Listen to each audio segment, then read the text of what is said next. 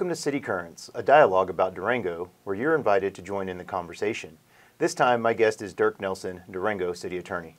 Good morning, Dirk. How are you doing today? Good Morning, Jose. I'm good. How are you? Doing well, doing well. So, appreciate you coming by and stopping and just kind of having a little conversation with us.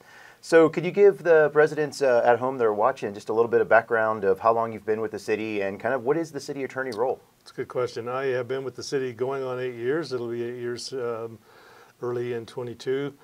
Um, I uh, have been, uh, prior to that, I was in private practice doing a lot of governmental uh, representation of a variety of governments, so kind of been doing this a long time. Um, the city attorney, um, not to, to get into the nitty gritty, but is appointed by council, one of the few positions that's directly appointed by council. So my primary job is to provide legal representation to the council um, and to city manager's office and to uh, staff as well. So uh, it's a wide variety and interesting uh, uh, work.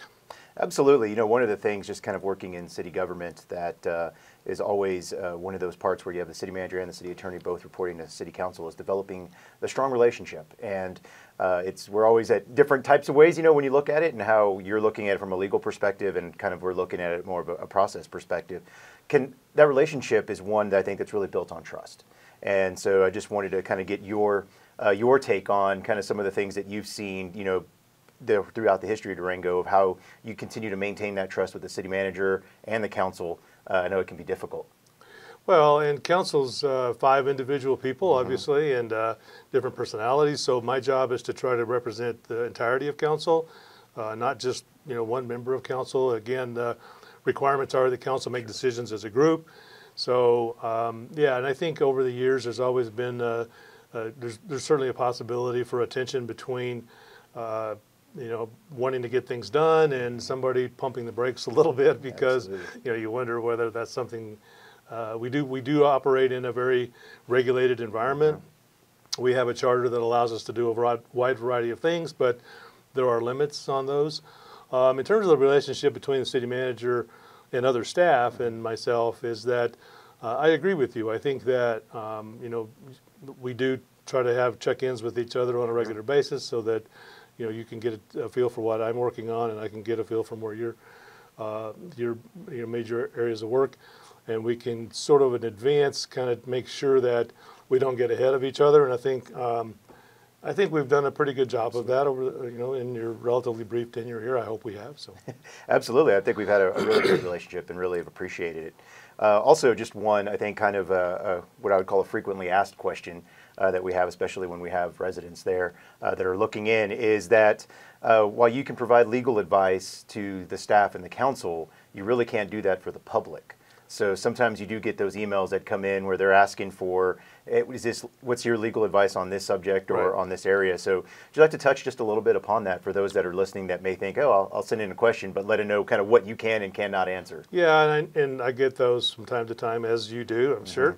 Um, and so, uh, yeah, people do think that, um, you know, we, we are, you know, serving the public in the sense that uh, that's our job and we're trying to carry out uh, we're trying to get things done for the public.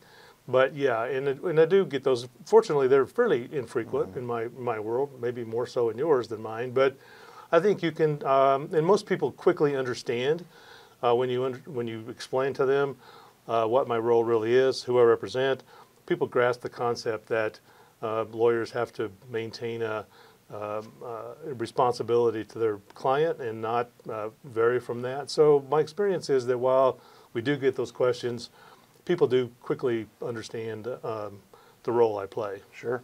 So just a couple personal questions, I guess, as we kind of get to know a little bit more about yourself. First one is, how did you get into municipal law? Good question.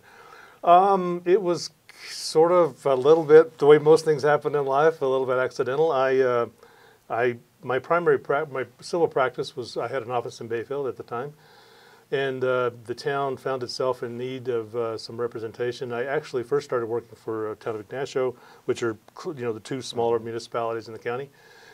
So um, I did that, and then picked up other clients as we went along. I, metro districts, um, library districts, you know, a variety of those kind of entities. So um, it just so happened that it created an opportunity, and I found that I enjoyed it.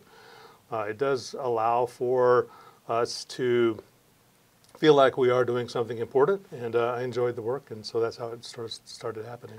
Uh, the the second part uh, of that that question, kind of one of my favorite questions that I ask everyone who comes on, is what is their music of choice? So as you're looking in that genre uh, of what is it that you're driving to when you're coming into the office, or maybe just when you're on a road trip. Uh, what uh, what are those? What's the song uh, Okay. song of the day that's on top of mind for you? Well, song of the day, actually, I heard what I consider to be the greatest Halloween song, uh, Warren Zevon, uh, "Werewolves of London." I think that's the best Nice. Halloween song there is, uh, Halloween season. Uh, driving songs, Radar Love, uh, Golden Earring. That's got to be the greatest driving Gotcha. song of all time. So that gives you a hint at what I listen to. I do um, listen to a wide variety of things. We have a great public radio station that allows you to, without much effort, to keep up on some newer stuff while keeping up, you know, uh, older things. I um, I have a bucket list of a few people that I haven't seen. Um, Mark Knopfler, and uh, I've never seen the Rolling Stones, and so some of those uh, bands like that. So that'll give you a hint. Uh, by the way, there's an old John Sandford novel that I don't know if anybody reads John Sandford anymore, but his character, uh, there's two characters. It's a police novel, but they banter throughout the whole novel about the greatest rock and roll songs of all time. And at the end of it, they have a list of the 100 greatest rock and roll songs of all time. And if you haven't read it, you should. It's a funny book, and uh, I agree with, for the most part, the list that they put together. Awesome. Well, thank you very much, Dirk, for stopping by. I really appreciate getting to uh, getting to chat with you a little bit and uh, letting the public know a little bit more about the city attorney and the city attorney's office. So appreciate your time. Thank Thanks you. for the opportunity. Absolutely. Remember, this is a program where we want your input and questions. You can call in with your comments, show topic suggestions, and questions at 970-375-5091 or send us an email at citycurrents at durangogov.org. Be sure to join us next month for another edition of City Currents. Thanks for watching.